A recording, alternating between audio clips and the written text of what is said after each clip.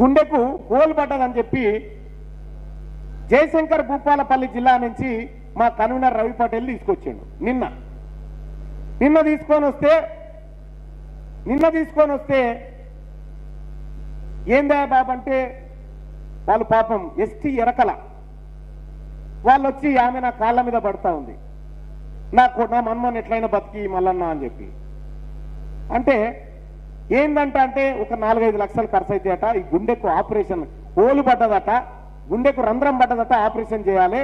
ఎట్లనే చేసి బతికించమల్లన్న సేమ్ మళ్ళీ మన ప్రాసెస్ స్టార్ట్ చేసినాం. లీగల్ టీం ఏది? మెడికల్ టీం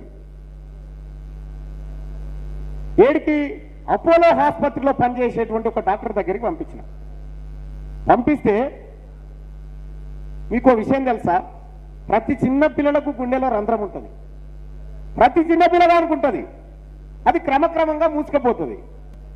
ఆ తల్లిదండ్రులకు ఈ గుండెకు రంధ్రాన్ని చూపెట్టి భయపెట్టి నాలుగు లక్షలు కావాలంటాడు.